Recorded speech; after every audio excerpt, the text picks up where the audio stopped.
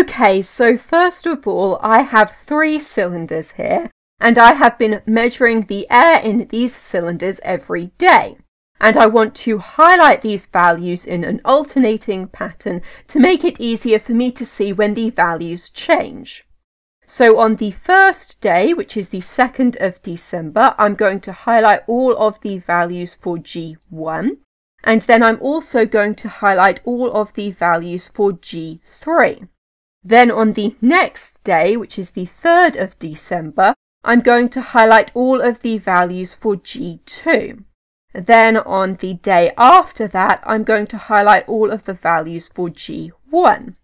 And you can see that I want a pattern that looks like this, where the highlighting goes back and forth whenever the value changes. But I don't want to have to manually do this all of the way down the table.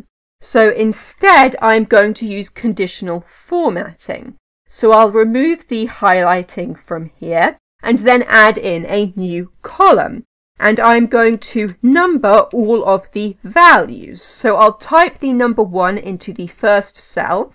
Then in the next cell, I will use an if formula. And the logical test will be, is this value here equal to the value in the cell just above it? And if that is true, I want it to copy the number in the cell above. And if it is false, then I want it to take this number and add 1 to it, and close brackets and enter. And then I will double click to send this formula down.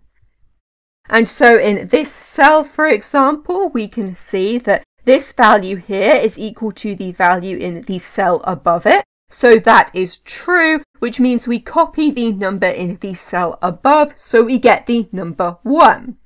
Then in the next cell, we can see that this value here is not equal to the value in the cell above, which means this is false. So we take the number above and we add 1 to it, which means we get the number 2 here. Then in the next cell, this value here is equal to the value in the cell above it, which means this is true. So we copy the number in the cell above. So we get the number 2 here. And this pattern continues all the way down the table. So in this way, we can number all of our values. Then I need to add in a test here, which is is odd and this returns a true if the number is odd. So we'll select this number here and then close brackets and enter and then double click to send that formula down. And now you can see for the number one, that's an odd number, so we get all trues here. And then for number two, that's an even number, so we get false. And for three, we get true. And you can see it goes back and forth between false and true and the conditional formatting will be applied whenever the value is true.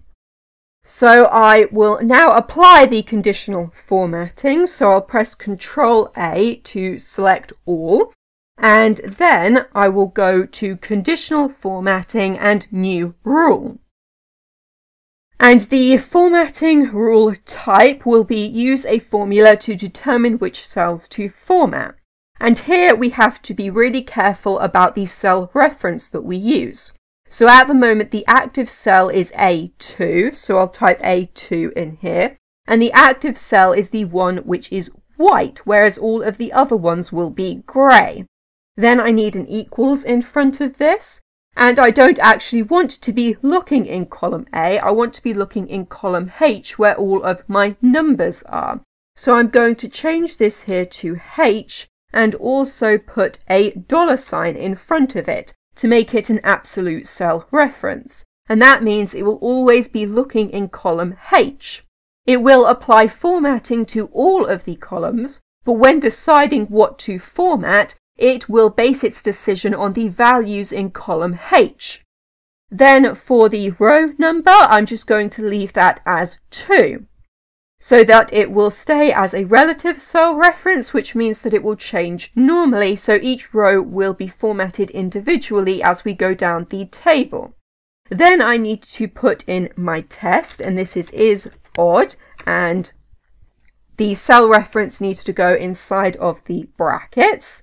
and then we need to tell it what we want the formatting to be. So I will change the fill here to be a light orange and OK. And then OK again. And now you can see we have the highlighting alternating for each of the values. So G1 on the first day is orange and then G3 on the first day is also orange and then G2 on the second day is orange, and then G1 on the following day is orange. And this pattern continues all the way down the table to make it easier for me to see when the values change. Okay, so in this video I have shown you how to highlight rows in a table based on their values using conditional formatting, and that is everything.